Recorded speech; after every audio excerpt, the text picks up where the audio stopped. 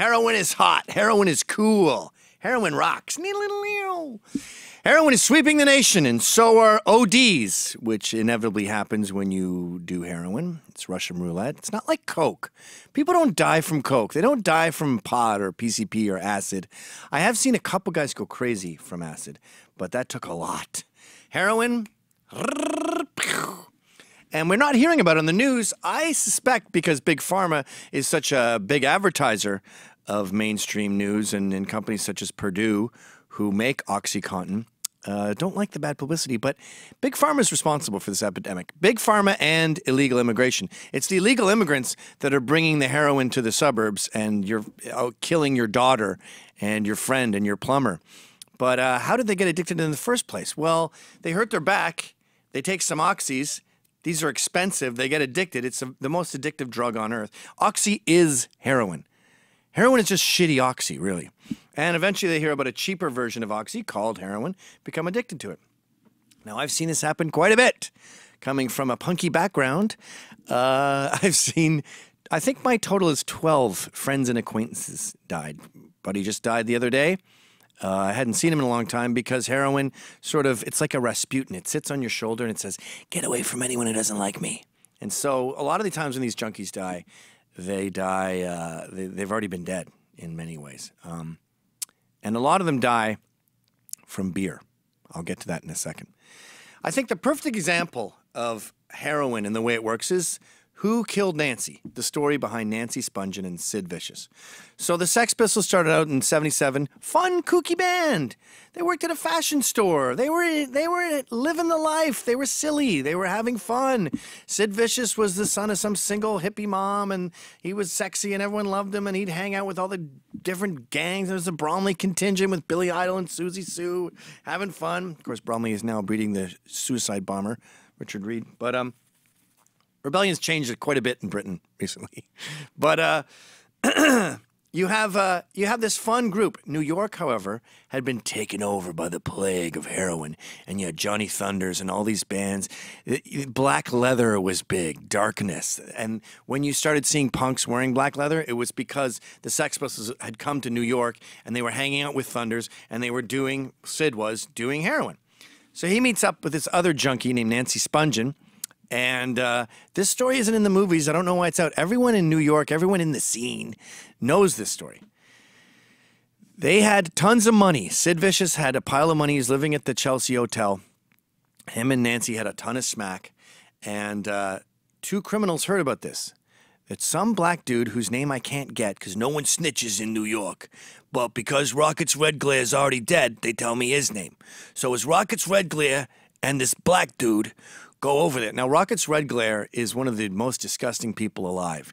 He was born on heroin. his mother was a junkie. He was born high on heroin, was a junkie his whole life. Big, disgusting, fat pig. Steve Buscemi was friends with him. They did stand up. Um, he's an actor in movies too, but he's also a brutal junkie. 100% of his life, 100% of his life, this guy was on smack. Anyway, hey, I hear that uh, Nancy and Sid got some stuff. So they go over there. Yeah, we go. The way you do Sid Vicious, by the way, is you exhale. Yeah, I got a bit of dope. Come on in. So they come in, they do a bit of dope, and then they go. Nancy and Sid pass out, of course. Fun drug, by the way. Let's go to a sleeping party.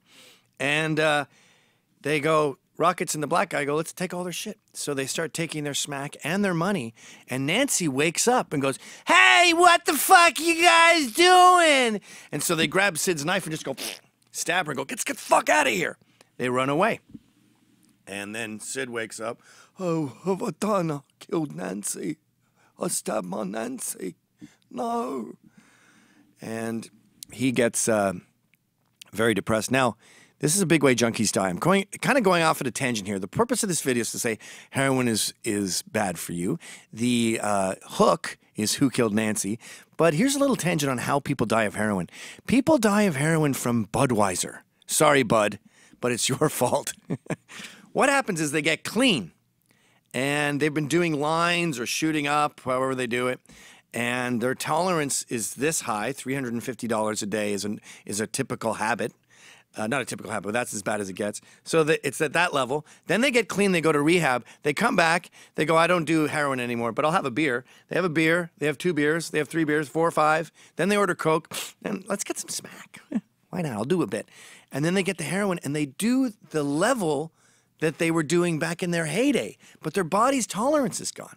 And this is what happened to Sid. He was in jail for I think a month and a half, uh, two months, and his tolerance was down to nothing.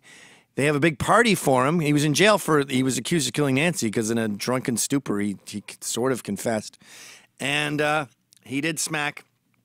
Big, huge dose, probably a giant bump, or maybe he even shot it, and died that night. His mother discovered him. So, why am I telling you all this? Well, one is juicy gossip that I know how Nancy died and no one else seems to know, and two, now that heroin is big, I want you to know I've been there.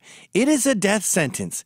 If your daughter is acting sleepy, if you're noticing painkillers are gone from your medicine cabinet, that's not truancy. That's not rude. That's not mischievous.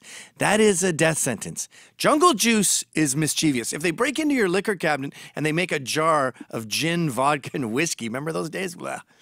That's rude. That's naughty. Oxycontin is different.